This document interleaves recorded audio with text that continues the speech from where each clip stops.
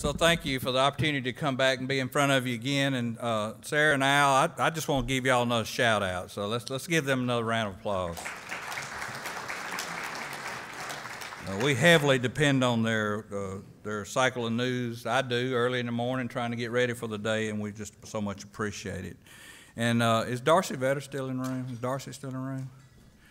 You know, there she is, Darcy. Uh, I, am going to take this, the liberty here because there's everybody in here is connected to agriculture, and there are millions of farmers across this country that so much appreciate all the hard work that you put into TPP while you was working for the previous administration. And I want to give this, this lady a round of applause that she deserves that she worked so hard to get us in that agreement.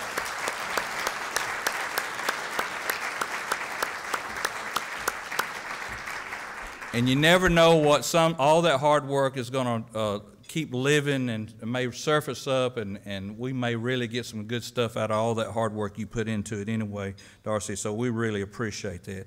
You know to reflect on uh, what we just heard uh, and i was honored to be a part of it. I was among experts on the on the panel here you know and i still picture myself just as an old farm boy uh, this, that god has uh, put on a mission here and and, uh, and I'm just privileged to be here. But Chuck, uh, one of the things Chuck said was that, you know, farmers only have really one business plan. Outside of our farms and how we deliver our products, really there's only one business plan because we have saturated the market here in America.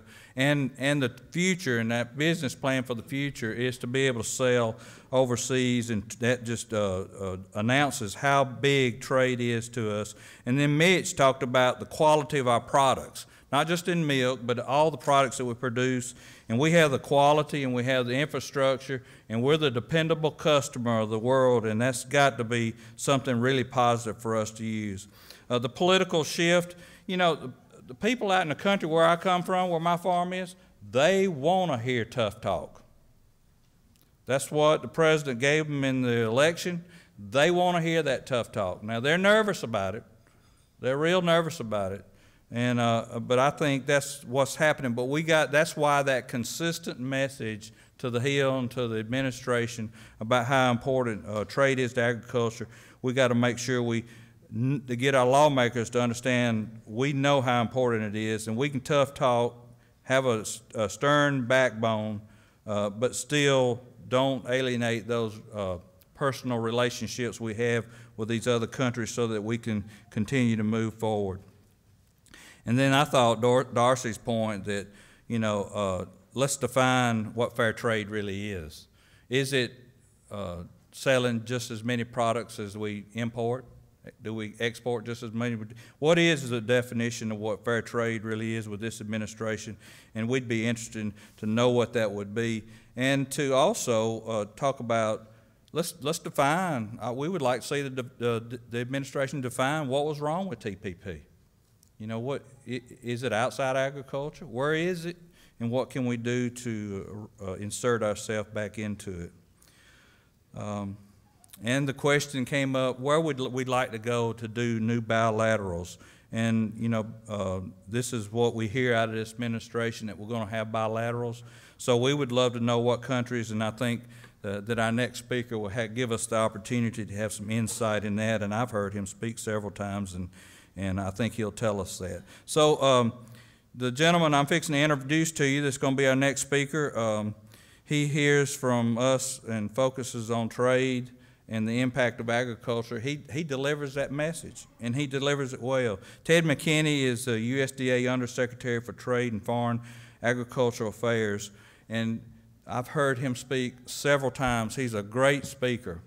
Uh, but you know, his background makes him the right person at the right time. Uh, Mr. McKinney um, was Secretary of Agriculture uh, in, in Indiana, uh, in a great farm state. So he was appointed or was worked with uh, Vice President Pence uh, there. Uh, he um, also um, is the person that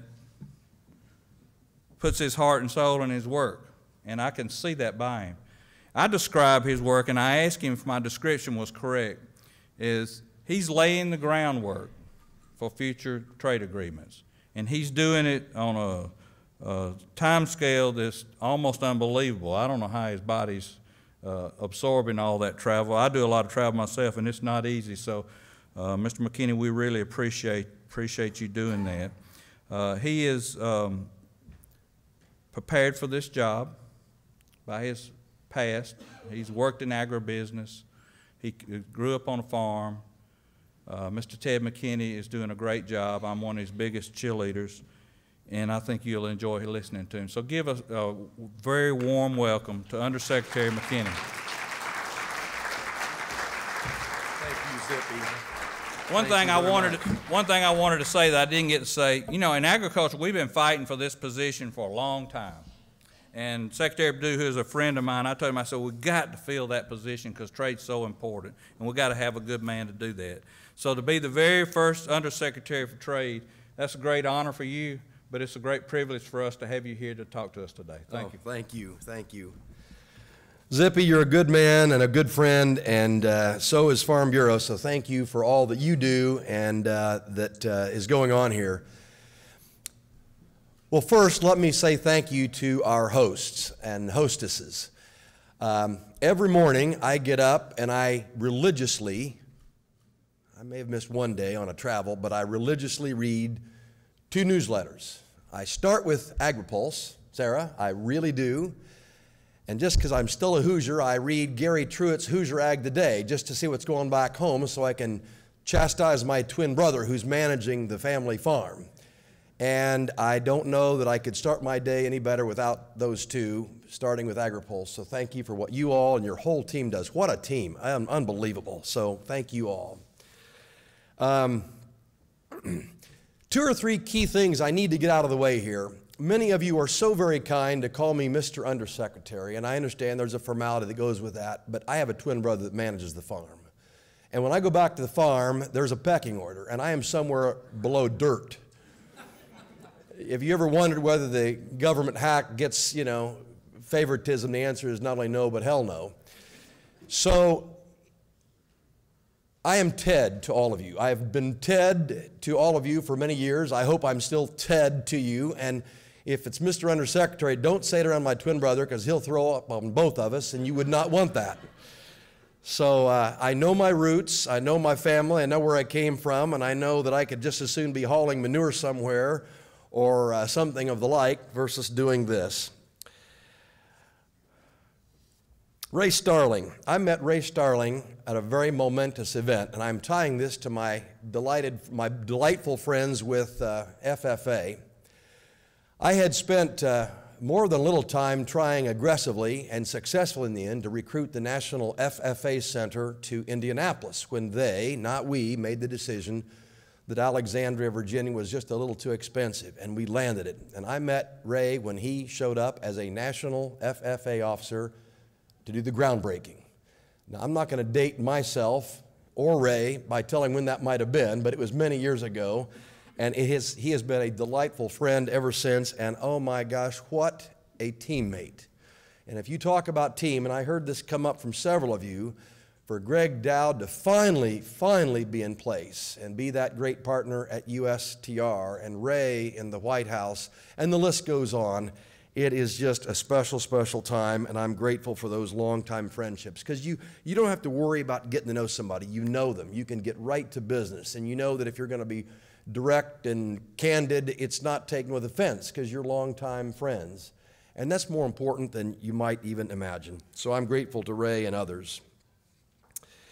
Well, Zippy, you said it. I, I, am, I want to thank all of those who wrote letters or in some way communicated about the need for this as a standalone position. I am very grateful. I don't know how my predecessors, like my good friend Darcy or Michael Scuse, who is a great friend, I don't know how they did it when an undersecretary had both domestic programs with all that goes with that, as well as trade and all that goes with that. And so I've read every letter, and there are many, many of your organizations out there, maybe some of you individually that wrote letters, and just know how grateful I am. And I can only hope that we are fulfilling all of your hopes and desires. I feel we are. We are certainly more nimble as is evidenced by my trek toward that million miler club that the Secretary reminds me about. And uh, so thank you because I hope we're honoring your wishes, and I think now is, it may be past due, but certainly it is due given how much uh, churn there is on trade. So I hope we're, uh, we're meeting that need. Well, I'm going to talk about some things on trade, and I'm going to let Gregg Doud talk about some of the more current issues of steel, aluminum, and some of the more current trading partners. I'll reference that, but that's a USTR led effort. I want to share with you some related but still important things. I want to share with you seven thoughts. Lucky seven. The seven didn't just come by chance, we worked on that, but there are seven things I want to leave with you, and I'll try very hard to speak candidly because I don't know how else to be. The first one is something that has been revealed to me time and time again on many of these trips. It's something I bet some of us take for granted, or at least don't keep front of mind, but we can never forget it. And it's this simple it does mean something. In fact, it means a lot that the quality of U.S. food and ag products and both the real and perceived safety, meaning the regulatory system and the fact that they are known to be safe, and in some countries, the volume of those products, it makes a difference. I've toured retail stores like Costco like stores in Colombia, Brazil, and elsewhere.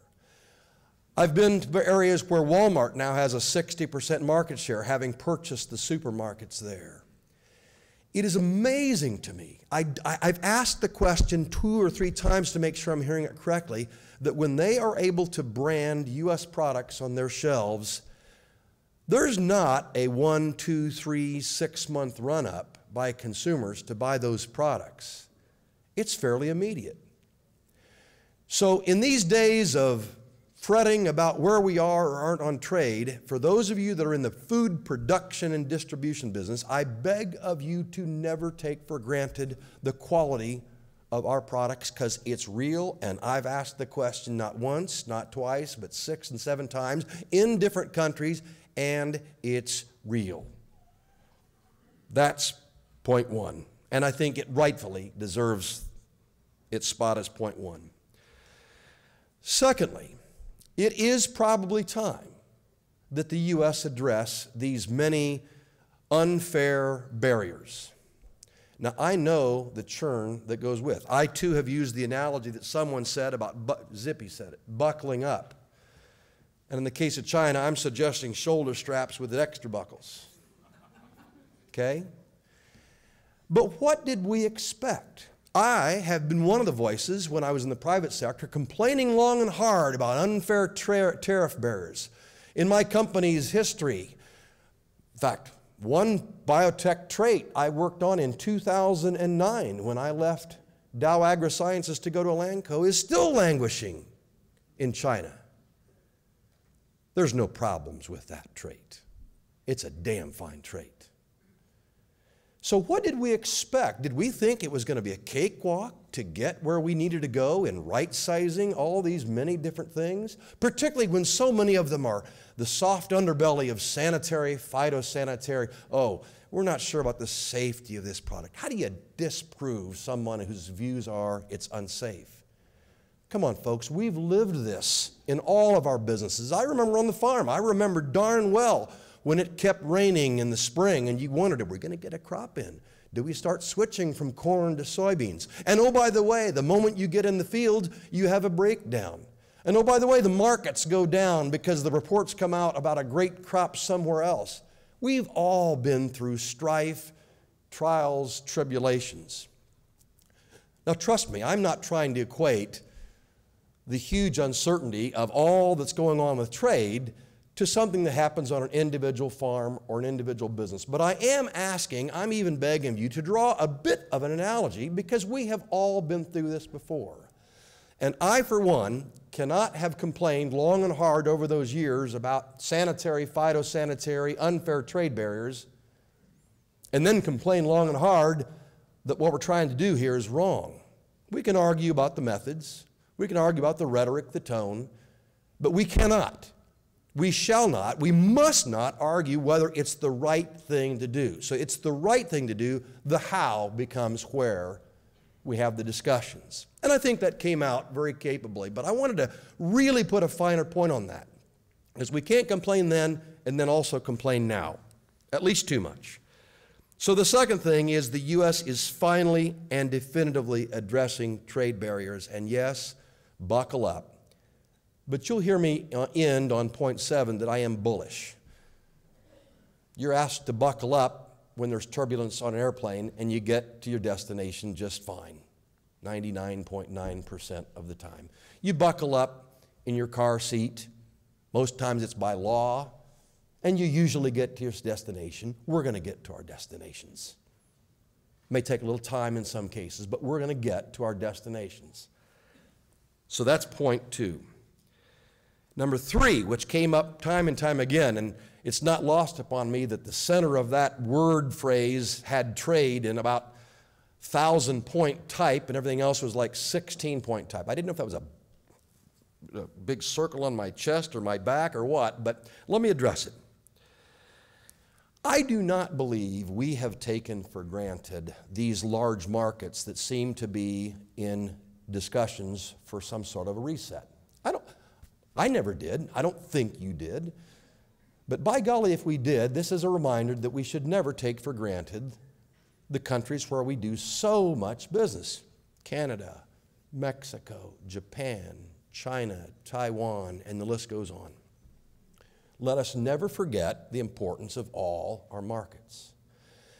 But you know what? While my friends at USTR are taking the lead in all these new discussions, and we play our role. I got about two dozen folks at the Foreign Ag Service every day working on data analysis, policy analysis. And so if you wondered if there's good collaboration between USDA and USTR, I'll just tell you there's a couple dozen, and sometimes more, some days less, really working to make sure there's strong collaboration and that the truth is what is prevailing. But there are markets. Let me give you an example. In fact, I'll give you several. It is not just by chance that our ag trade missions, starting two weeks after I was sworn in, are to markets that may not represent that 60, 80%. And the news is good. We went to India. Now, let me start and end. I love my friends with India. I've told them that, and we're going to go back, and we're going to go back, and it's going to be a bear to do business there. Tariffs, every time somebody squeals, a tariff goes up. I was rewarded a week after coming back, maybe two weeks after coming back, with tariffs on peas, pulses, and lentils from Roger Johnson's home state of North Dakota going straight up, including product which is on the water. Some of it only cleared three to four months later. It's going to be a bear. But guess what? Every journey of 10 miles or 100 miles or a 1,000 miles begins with a single step and then another step. I'm a history buff. Let me take you back. How many of you remember watching TV when that miraculous Air Force One landed in, of all places, China?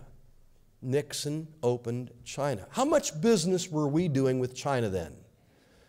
Well, by the official record, zero. I have to believe some was coming through the back door in Hong Kong, but for, for the most part, it was nothing like we have now. And look where we are now. With all the issues that were fraught and going on with China, we're doing a lot of business with China. I happen to be a World War II buff. Look where our friends were in Japan, Germany, and many other countries by their own fortitude, and I think some help by the Marshall Plan, look where Japan and Germany are today as trading partners. Every journey of 10, 100, 1,000, God, I hope it's not 10,000 miles, begins with a single step. And following that creed, that's why I said, after, even after what India did on the peas, pulses, and lentils, I said, we got to go back. We're going to sit down. We are going to sit down. We're going to work through this. Showing up is more than half the difference in winning the battle of trade. So we're going to show up. So, to restate, number three, there are markets. Let me move you to Guatemala. Got back two weeks ago, three weeks ago. and then went to Japan. So I knew Guatemala and Honduras and El Salvador were a decent market. Let me give you some data. Second all time high in the companies that went along to do business. And this is not just a show and tell and a follow up later. I mean, they're sitting down in a speed dating session three afternoons in a row doing business. It was so successful. And by the way, after it's over, my colleagues with Foreign Ag Service say, Would you conservatively estimate what business you think is going to come out of this? It was so strong. Two, two companies were so through the stratosphere, we said, oh my God, this can't possibly be. So we set them aside to follow up and make sure did they hear when we said conservative, really be realistic? Even after setting those two aside, it would represent the third all time high ag trade mission Guatemala, Honduras, and, and, and uh, El Salvador. There's business out there.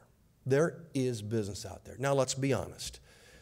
Sometimes I like my baseball example and sometimes I don't because I don't ever want to minimize any market. But I'll say it because you'll get it. I'll use baseball vernacular. Spring training is going on, we got baseball going on. If you equate our larger trading partners like the NAFTA countries and China, Japan, and others to a triple or a home run, we're going after doubles and singles. And by golly, we'll take a bunt or even a walk if it comes our way. And we all know that baseball games are won much more frequently on singles and doubles than they are triples and home runs.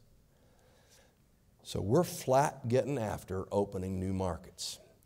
Now, Earl Butz was a good friend of our family. I knew Earl. I traveled with him when I was an undergrad at Purdue. And uh, would I have loved to come in this role and start talking about plant fence row to fence row? The markets are so opportune. Green light all the way. All the things that Earl was so very, very good at saying. Yeah, that'd be great. But you know what? I think my time here is to do exactly what Zippy said, and that is to, to be a very good blockman with great mortar. We are building or rebuilding foundations. And if we do our job right, I hope we have some great victories to declare, and I think we will. I'll touch on a few in a moment.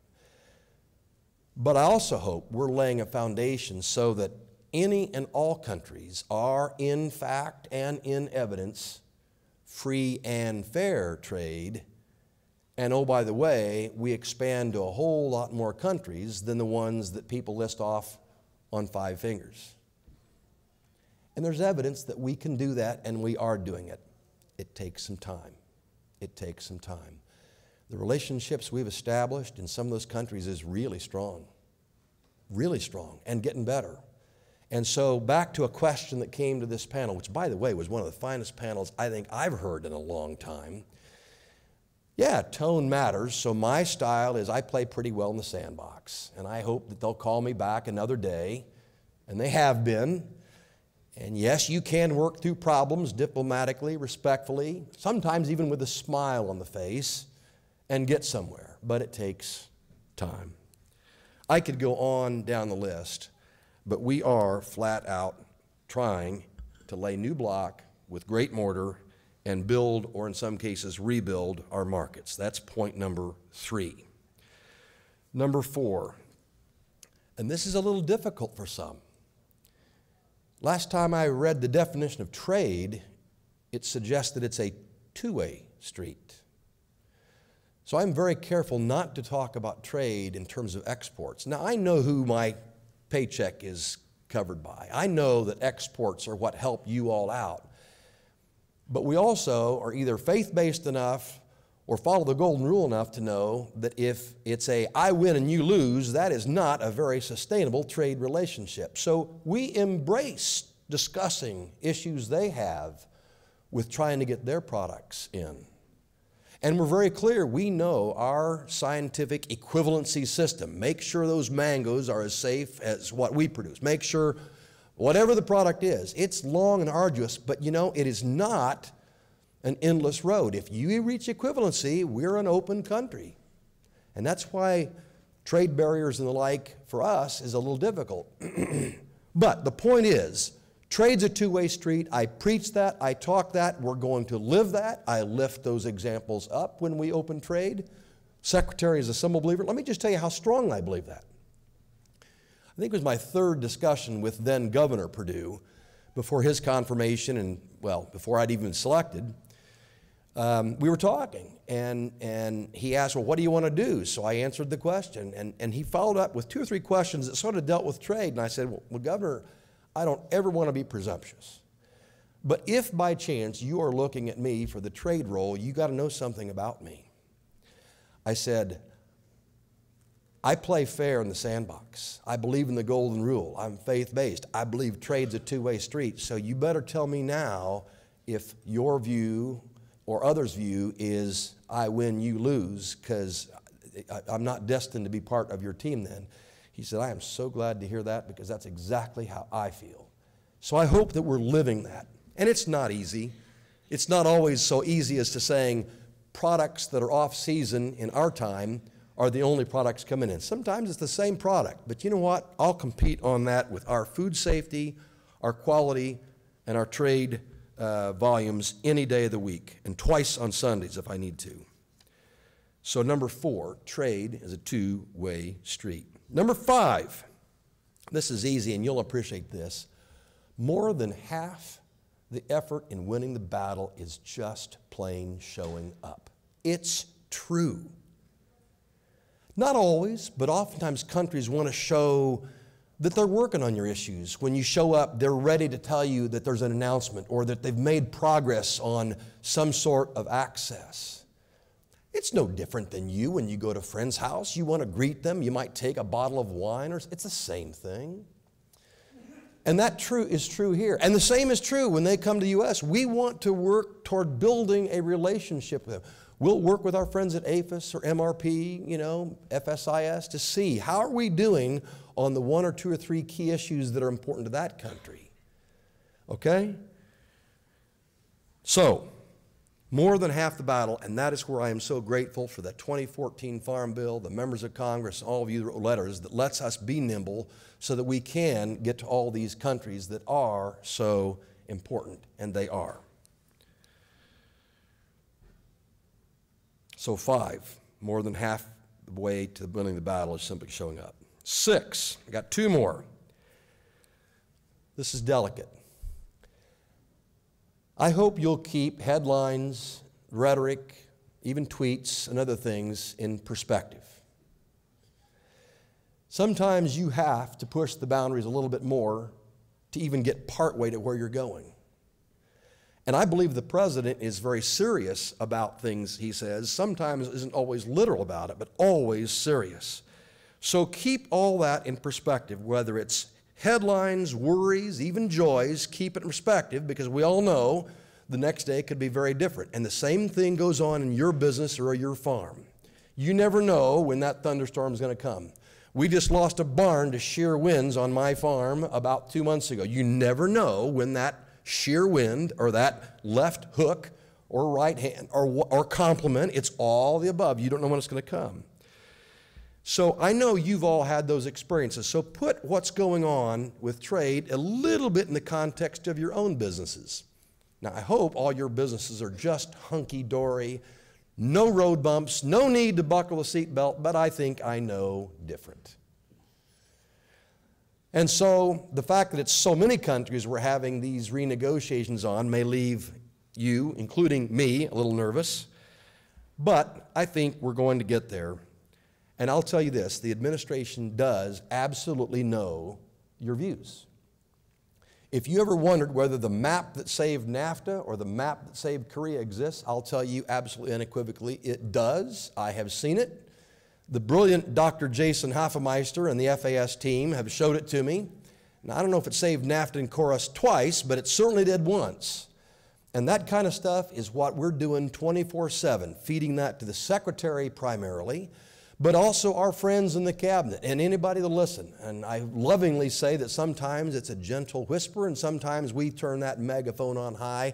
And if you could put a turbocharger on that, I'd do that at times. But we're flat out getting the message across. But let's keep it in perspective because I think we're going to get there, which leads me to number seven. I am bullish on the future. Now, I understand I'm a relatively positive oriented guy, but I hope I'm bullish, not Pollyannish. And you know the difference. Pollyannish is as wildly optimistic, perhaps um, improperly so. I am bullish. I believe we're going to get there on NAFTA, maybe even sooner than we think. I believe we'll get there on Korea. Right now, ag into Korea, ag in the U.S. say leave ag alone, so maybe that will prevail. I saw my good friends from Japan. I think one way or the other, we're going to get there with, the, with, with agreement with Japan. And that'll be up to the president and USTR what form that takes, whether it's the current mode of a bilateral or whether there is a default back to TPP. I do not know. I'm not going to speculate on that. But let me tell you a story. I was in Japan two weeks ago. We concluded Friday evening when our U.S. ambassador to Japan, Bill Hagerty, great guy, had a wonderful reception in the ambassador's residence. For history buffs, ironically, it's the same one MacArthur lived in. So that was a real fix for me.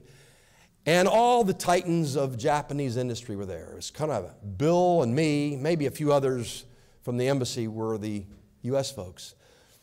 And it was fun. I mean, no, it was not a love fest because there's issues we got to deal with. But when the foreign minister went down the list of things that the new ambassador to the U.S. has to cover. It's a long list. But the fact that we were laughing about it and having fun with it says, all right, message to be sent here, message received, but it was warm. It was embracing. And I think it reflects that wonderful relationship we have with our friends with Japan, and we're going to get there.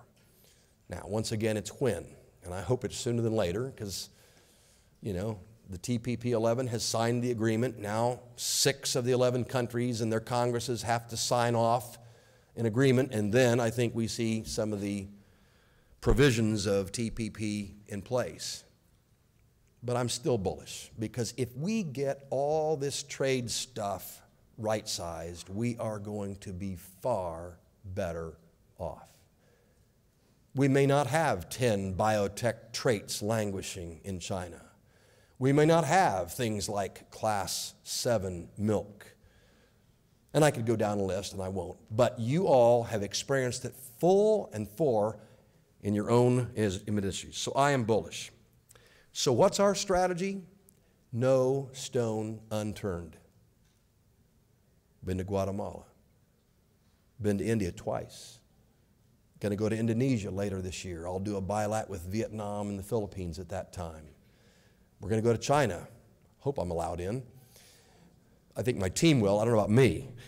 Um, so no stone unturned. And, and we're going to South Africa. We're going to try African countries. We are working on building the foundation that Zippy so properly characterized for the future. And oh, by the way, with USTR's help, I think we have every opportunity to step back in Uh, we might have to put a band aid on each other's arms, but I think we're going to be there with Canada and Mexico and all the other countries where we're doing redos. There are opportunities, and I'll leave it on this. We are building trust, or at least trying our darndest to do that. And that's where I'm so grateful to organizations like FFA and 4 H, where you learn how to deal with adversity and strife. And you learn how to work with joys and celebrations too. But without those to help me and people like Ray guide themselves, it might be a little more difficult to figure out how to be honest, direct, truthful, but do so with a smile on the face. And that's what I'm trying to do is build that trust. And I am bullish, and I hope you are as well.